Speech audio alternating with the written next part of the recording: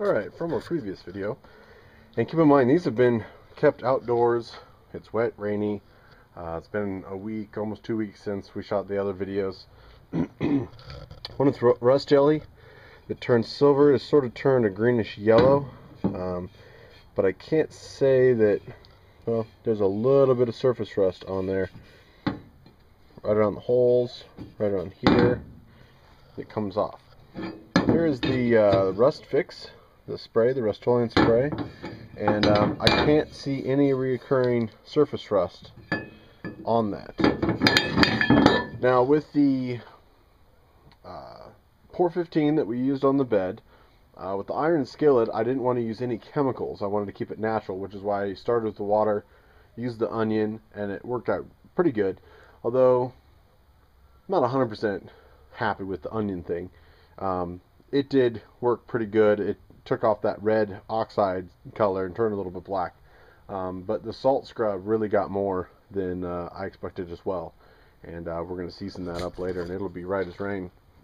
What I'm going to do is, this was a piece that I uh, originally did the, to about here, I did the whole thing in rust jelly. And you can see it didn't work that great. Uh, and then the end cap here is rust jellied and then I did the uh, rust stop spray, the Rust-Oleum spray. And you can see that stuff works pretty good. You can see how dark it is there. What I'm going to do is I'm going to take the bottom end of it, uh, that hasn't had any treatment with it, and the other remedy I found that would be good if you're worried about chemicals or using it on food issues, especially like iron skillets really, is apple cider vinegar. It's supposed to do a pretty good job. I'm going to leave a link to uh, Hot Rod uh, is doing a pretty good uh, selection of rust removal, and that was one of their main concerns, not for non-chemical for eating purposes, but they wanted the average weekend home guy that was doing some rust removal project not to worry about the stuff that he was rinsing down the street drain uh, after it rained or you know after he washed the project. So they have all uh, low VOCs or no VOCs, and they're trying the molasses one and stuff like that. Interesting read. It's about a seven-page article that they did on this old car, and they, um, you know, they sectioned it up. They did a great job, and I'll leave that link down below. Um, also, leave a link. Uh, one of the uh, Survival to Prepper guys. Um, I think that's his name. Gosh, I hope I'll annotate it.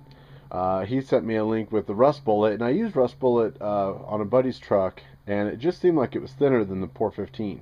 But their independent test that they did on the Rust Bullet video is was fantastic, and POR-15 came in third uh, over their product, and uh, pretty interesting. But with that, I also got a couple emails to go over exactly what I do with the Rust or the uh, POR-15.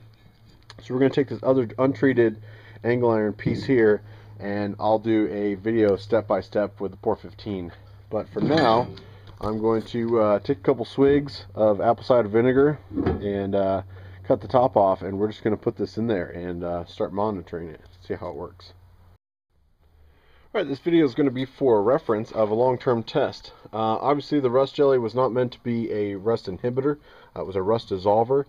But um, this one was the one that was on for 24 hours before it got washed off. That is going to be number one. I also have a scribe line through it also to see how the bare metal underneath um, reacts. Very similar to the rust bullet, um, only we're gonna, just going to leave this sit outside in uh, Eastern Oregon, which is not a very rainy or corrosive environment. But that's all I've got for this test. Number two is going to be the one that we um, actually put the uh, uh, rust stop, uh, the Rust-Oleum spray, I believe it was Duplicolor spray on there. Uh, test 3 is where it got rust jellied and I put a score where we sprayed the Rust-Oleum, or sorry, the Duplicolor rust stop over the jelly. But this end is going to be where we're going to put it in the vinegar and dissolve it. Four is going is has been untouched so far, but four is going to be the one that I demonstrate the POR-15 products. All right, stock bar number three into apple cider vinegar. It is 2010. It is October 30th, uh, 218, and uh, we're just going to leave it in and I'll periodically check it and we'll see how it goes.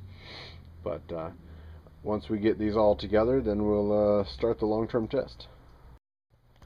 Alright, now this has been sitting overnight. I'll show you my watch here. Is the 31st of October at 1242. A little less than 24 hours. do this without knocking it over. Here.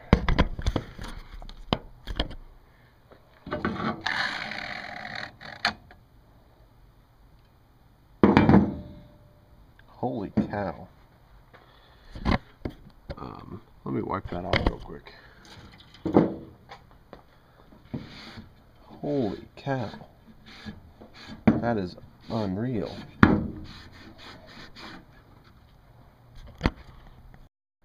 Had to bring out into the sun. It dissolved all the rust down to bare metal. Better than the rust jelly, better than anything I've tried so far to actually get the rust off. That is 100% bare metal. Unreal. That really has just blown me away with the apple cider vinegar. I should have used that on the uh, skillet, and uh, maybe I will. Maybe I'll degrease the skillet again and throw some apple cider vinegar in there. That's unreal. What I decided to do with the number three test here is the uh, brush on Rust-Oleum hammered finish uh, thicker than the spray uh, we're going to put that on this end on uh, I'll probably cover both the bare metal finish and then the slightly rusted finish and come up to here there's the POR-15 uh, one curing and uh, when they're all said and done we'll bring you back and alright boys and girls I got all four bar stocks done and their treatment down here. This video is going to be serving as a reminder to what we did to which bar stock. Uh, bar stock number one had the naval, naval jelly put on for 24 hours and then washed off and because it's not an ultimate treat I wanted to treat everything with a top coat of paint or some something on there. Uh, so with that we were testing the Rust-Oleum truck bed spray. That is bar everything got two coats by the way. That's bar stock number one. Bar stock number two was the one that was just used with the Duplicolor Rust Fix to neutralize the rust. And because that, uh, I wanted to put a paint that wasn't a, a, rust paint. So I just chose the that Fusion Krylon Ultra Flat. Uh, same thing I put on the outside of the truck, so that'll be a dual test for it. Um, but this is the Ultra Flat black one, since they'll all be black. And also got two coats there. Bar stock number three is a little bit special. Uh, this got the uh, rust jelly right here. Over the rust jelly, I put the neutralizer. That will be remained untouched and opened. On this side, we did the um, apple cider vinegar, which I will have to redo the video I just did of the um, of the iron skillet because that works amazing. But instead of using a thinner spray can of the Rust-Oleum paint, I used the brush-on hammered version of the hammered Rust-Oleum, and that also got two coats. The fourth bar stock uh, has the all treatments of the POR-15, and so the POR-15 got the degreaser, the metal etcher, and then the POR-15 in two coats over the top of it.